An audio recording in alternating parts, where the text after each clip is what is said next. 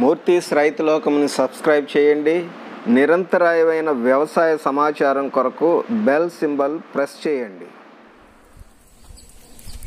Welcome to Murthy's రైతు లోకం. శ్రీనివాసమూర్తి ఒంగోలు.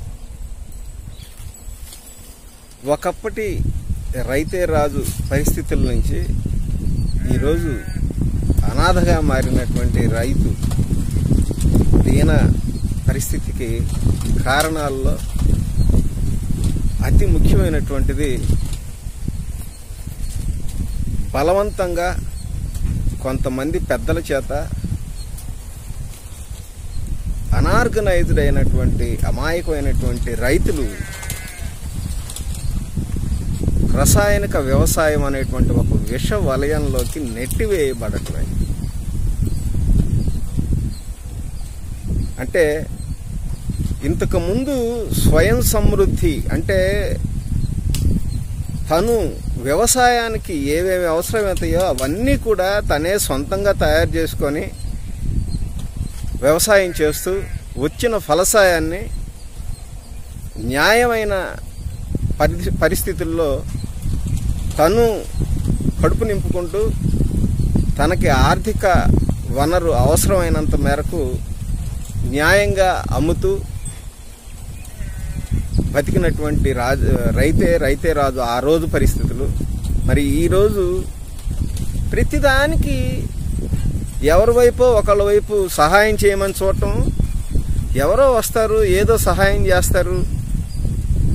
వచ్చిన నష్టాన్ని ఎంతో కొంత మేర పూడ్చుకుందాము అనేటువంటి పరిస్థితి దాపురించడానికి కారణాలు ఇప్పుడు మనం చేస్తున్నటువంటి ఈ రసాయనిక వ్యవసాయం మొత్తం కూడా ప్రతిదానికి ఒకళ్ళ మీద ఆధారపడాల్సిందే మనం. అంటే విత్తనం వేసుకోవాలంటే మన సొంత విత్తనం లేదు మార్కెట్లోకి పోయి కొనుక్కొచ్చుకోవాలా? పోనీ ఒకసారి ఆ విత్తనాన్ని కొనుక్కొని వచ్చుకుంటే ఆ పంట నుంచి వచ్చినటువంటి దాంతో మనం విత్తనాన్ని తయారు చేసుకుని మళ్ళీ నెక్స్ట్ పంటకు వాడుకోవచ్చా అంటే అది కూడా కాదు. ప్రతి పంటకి విత్తనాన్ని జేబులో డబ్బులు పెట్టి అది కూడా కేజీ విత్తనాలని వేలకు వేలు ధారపోసి కొనుక్కునేటువంటి పరిస్థితి. అట్లాంటి విత్తనం మార్కెట్లో కొనుక్కోవాలా ప్రతి పంటకి? పోనీ ఆ విత్తనం ఏదన్నా సరసమైన ధరలకు ఇస్తున్నారా అంటే అది లేదు. మనం పండించినప్పుడు మనం అమ్ముకునేటువంటి ఫలసాయం ఏమన్నా పారేసే రేట్లకు ఇస్తారు. మనం విత్తనం కోసం మార్కెట్లోకి పోతేనేమన్నా విపరీతమైన రేట్లు చెప్తారు. సో విత్తనము మనం ప్రతి పంటకి ప్రతిసారి మార్కెట్లో కొనుక్కోవాల్సిందే.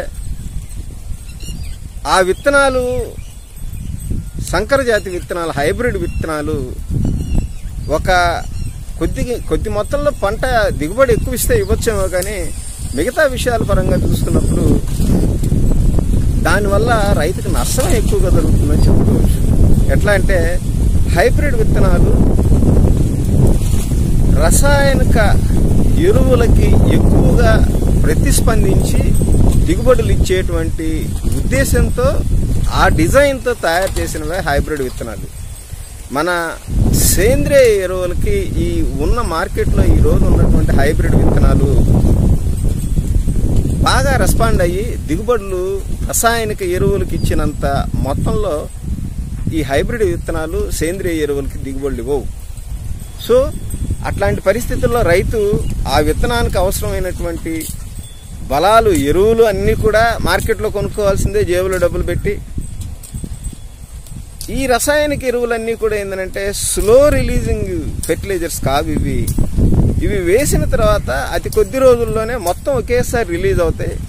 దానివల్ల మొక్క వెంబడ పీల్చుకొని unutilised nitrogen reserves in the plant వినియోగం కాని నత్రజని నిల్వలు ఎక్కువ ఉన్నప్పుడు అట్లాంటి నిలవలు సహజంగానే చీడపీడలని ఎక్కువగా ఆకర్షిస్తాయి. ఇట్లా వాడినటువంటి రసాయనిక ఎరువుల వల్ల చీడపీడలు పెరిగిపోతే ఆ చీడపీడలను మళ్ళీ కంట్రోల్ చేసుకోవడానికి వేలకు వేలు ధారపోసి రసాయనిక పురుగు మందుల కోసం మళ్ళీ మార్కెట్లోకి షాపులకి పరిగెత్తాలి. అంటే విత్తనాలు అదే కంపెనీ దగ్గర కొనుక్కోవాలా? ఎరువులు అదే కంపెనీల దగ్గర కొనుక్కోవాలా? సస్యరక్షణ కోసం అవసరమైనటువంటి చీడపీడల మందులు కూడా వాళ్ళ దగ్గరే కొనుక్కోవాలి? అంటే రైతు ఎంతసేపటికి జేబులో నుంచి డబ్బులు తీసి వ్యయసాయమే చేస్తూ ఉంటాడు కానీ వ్యవసాయం అన్నట్లుగా ఇంతకు ముందు రోజుల్లో చేసేటువంటి మన పూర్వీకులు చేసినటువంటి వ్యవసాయం కాకుండా ఈరోజు రైతు ఏ పరిస్థితుల్లో ఉన్నాడంటే వ్యవసాయం చేసే పరిస్థితుల్లో ఉన్నాడు. అట్లాంటి ఒక విష వలయంలోకి నెట్టివేయబడ్డాడు. తన ప్రమేయం లేకుండానే కొంతమంది పెద్దల చేత ఒక సక్రమమైన పూర్తిగా విశ్లేషించి అమలుపరిచేటువంటి సిద్ధాంతకర్తలు పాలకులు ఒకళ్ళని కాదు అందరూ వ్యవస్థే అట్లా మారిపోయి రైతు తనకి తన ప్రమేయం లేకుండానే తనకు తెలియకుండానే ఒక విష వలయంలోకి నెట్టు వేయబడ్డాడు. ఎంతసేపటికి ఖర్చే ఇది నేను ఎందుకు చెప్తున్నానంటే ఒక రకంగా ఇంత పెద్ద ఉపోద్ఘాతం ప్రకృతి సేంద్రియ వ్యవసాయం. చాలామంది ఈరోజు ఒక శుభ పరిణామం మెచ్చుకోదగ్గ పరిమా పరిమాణం పరిణామం ఏంటంటే చదువుకున్నటువంటి చాలామంది యువత ప్రకృతి సేంద్రియ వ్యవసాయం మీద అంటే మళ్ళా మరుగున పడిపోయినటువంటి మన భారతీయ ప్రకృతి సేంద్రియ వ్యవసాయాన్ని కొంతమంది పెద్దలు పూజ్యులు మళ్ళా పునరుత్తేజితం చెందించి ఈ తరంలో ఉన్నటువంటి యంగ్ జనరేషన్కి మళ్ళా దాని మీద ఆశ రేకెత్తించడం అనేటువంటిది తప్పనిసరిగా ఒక శుభ పరిణామమే. దీని మీద ఉన్నటువంటి ప్యాషన్తో మమకారంతో చాలామంది చదువుకున్నటువంటి యువత మళ్ళా వ్యవసాయంలోకి వస్తున్నారు ఇది చాలా శుభ పరిణామము కానీ వారికి వచ్చిన వారిలో వంద మందికి గాను ఒక రకంగా పది మందే నిలబడుతున్నారు. మిగతా తొంభై మంది అదృష్టవశాత్తు మళ్ళా మానుకొని వెనక్కి వెళ్ళిపోతున్నారు. వివిధ కారణాల వల్ల. అట్లాంటి వివిధ కారణాల్లో ఒక ప్రధానమైనటువంటి కారణం ఎంతో ఉత్సాహంతో మమకారంతో ప్యాషన్తో వచ్చినటువంటి ఈ ప్రకృతి సేంద్రియ వ్యవసాయం మీద పూర్తి అవగాహన లేకపోవటం దీనికి అవసరమైనటువంటి మౌలిక వసతులని ముందే పంటకు ముందే చేతిలో రెడీగా పెట్టుకోకపోవటం ఇట్లాంటి వాటి వల్ల ఈరోజు రైతు దెబ్బతింటున్నాడు. దాని గురించి ఎక్కువగా నన్ను మన రైతు మిత్రులు అడుగుతున్నటువంటి ఇబ్బంది సస్యరక్షణ పరంగా తీసుకున్నప్పుడు ప్రకృతి సేంద్రియ వ్యవసాయంలో సస్యరక్షణ విధానాల్లో ఇది రైతే అవగాహనతో దానికి అవసరమైనటువంటి అస్త్రాలని కానీ బయలాజికల్ కంట్రోల్ వెపన్స్ని కానీ అంటే జీవ నియంత్రణ విధానం విధానాల మీద అవగాహనతో వాటిని అన్నింటినీ చేతిలో రెడీగా పెట్టుకోవటం అయితేనేమి కషాయాలన్నింటినీ కూడా రెడీగా పెట్టుకోవటం అయితేనేమి ఒక సమగ్ర సమీకృత వ్యవసాయ విధానం మీద పూర్తి అవగాహనతో ముఖ్యంగా ఇంటిగ్రేటెడ్ పెస్ట్ మేనేజ్మెంట్ అంటాం. సమగ్ర సమీకృత కీటక యాజమాన్య వ్యవస్థ. ఇట్లాంటి వ్యవస్థ మీద ఒక పూర్తి అవగాహనతో ప్రకృతి సేంద్రియ వ్యవసాయంలోకి వస్తే తప్పనిసరిగా మళ్ళా వెనకటి రైతే రాదు అనేటువంటి నానుడిని సక్సెస్ చేయొచ్చు అలాంటి రైతు మిత్రుల కోసం నాకు తెలిసిన కొద్దిపాటి ఈ విషయ పరిజ్ఞానాన్ని మీతో పంచుకోవాలనే ఉద్దేశంతో ఈరోజు ఈ ఎపిసోడ్ తీస్తున్నాను. ఈరోజు మనం చర్చించుకుంటున్నటువంటి పాయింట్ సమగ్ర సమీకృత కీటక యాజమాన్య వ్యవస్థ ఇంటిగ్రేటెడ్ పెస్ట్ మేనేజ్మెంట్ ప్రకృతి సేంద్రియ వ్యవసాయ విధానంలో. మన రైతు మిత్రులకి నా విన్నపం ముందు ప్రకృతి సేంద్రియ వ్యవసాయ విధానంలోకి వచ్చేటప్పుడు దాన్ని పూర్తిగా సమగ్రంగా అవగాహన పెంచుకోండి స్టడీ చేయండి. అట్లా దాన్ని పూర్తిగా అర్థం చేసుకొని స్టడీ చేసి దానికి ఏమేమి అవసరమవుతాయి దాన్ని ఎలా ఆచరించాలి ఇట్లాంటివన్నీ అవగాహనతో చేసుకొని దానికి అవసరమైనటువంటి ముఖ్యంగా ఈరోజు సస్యరక్షణ గురించి చెప్పుకుంటున్నాం కాబట్టి సమగ్ర సమీకృత కీటక యాజమాన్య వ్యవస్థలో ఇంటిగ్రేటెడ్ పెస్ట్ మేనేజ్మెంట్లో నేను ఆ పాయింట్ వరకే లిమిట్ అవుతాను. Integrated pest management in natural organic farming so మనం దీని మీద అవగాహనతో ముందు దీనికి సంబంధించినటువంటి మౌలిక వసతులన్నింటిని కూడా చేతిలో రెడీగా పెట్టుకొని దిగాలి. అట్లాంటి వాటి పరంగా చూసినప్పుడు మొట్టమొదటగా మనం ప్రకృతి సేంద్రియ విధానానికి ఏక పంట విధానం అనేటువంటిది మౌలికంగా విరుద్ధం. తప్పనిసరిగా మనం ఏకకాలంలో బహుళ పంటల విధానాన్ని అనుసరించాలి. కారణం ఏంటంటే దీనికి సంబంధించినటువంటి కీటకాలు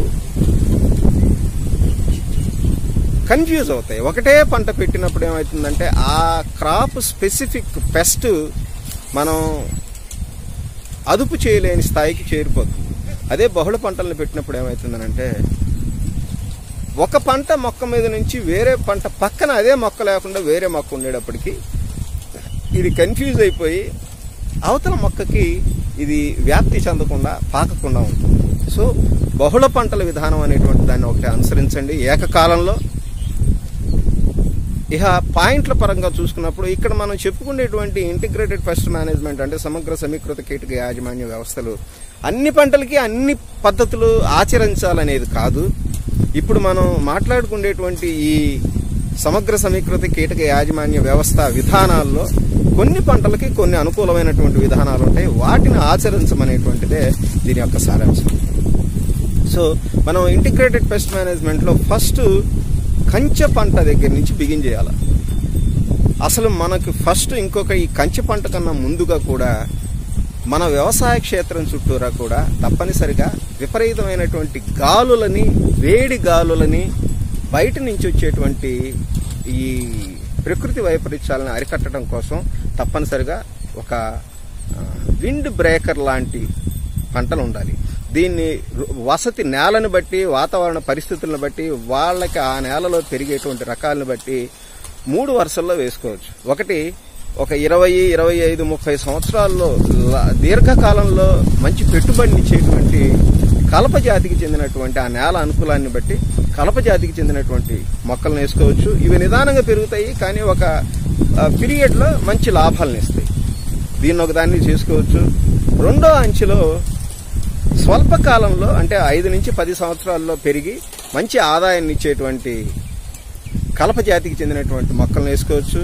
మూడో పంట విధానాలు అంటే మూడో అంచులు అంటే ఈ గ్యాప్ ఫిల్లింగ్లో పైన ఒక అంచె అనుకుంటే మధ్యలో ఒక అంచె అనుకుంటే కింద అంచెలో ఈ రెండింటి మధ్యలో మొదటి రెండో అంచెల మధ్యలో అడవి జంతువుల నుంచి రొడెంట్ అంటే మూషిక జాతి ఎలుక జాతికి సంబంధించినటువంటి వాటి నుంచి రక్షణ కల్పించడానికి కొన్ని రకాల పంటలు ఉన్నాయి. ఇట్లాంటి పంటలు అంటే కంచి పంటలాగా ఉపయోగపడుతుంది. అడవి జంతువులను వాటిని రానివ్వకుండా ఉంటుంది. కోసం ఒక ఉదాహరణ చెప్పుకోవాలంటే కనుక వాక్కాయ. ముళ్ళతో కూడినటువంటి వాక్కాయ. ఇట్లాంటివి చాలా రకాలు ఉన్నాయి. గచ్చకాయ. ఇట్లాంటి వాటిని వేసుకోవచ్చు. ఇవి మనకు ఫలసాయాన్ని అందిస్తాయి. అడవి జంతువుల నుంచి రక్షణ కల్పిస్తాయి. ఇట్లాంటిది ఇవి విండ్ బ్రేకర్స్ లాగా ప్రకృతి వైపరీత్యాల నుంచి మన పొలంలో ఉన్నటువంటి పంటను రక్షించుకోవడం కోసం ప్రధాన వలయంలో ఉన్నటువంటి ఒక విండ్ బ్రేకర్స్ అనుకోవచ్చు. ఇక్కడి నుంచి కంచి పంట అంటారు.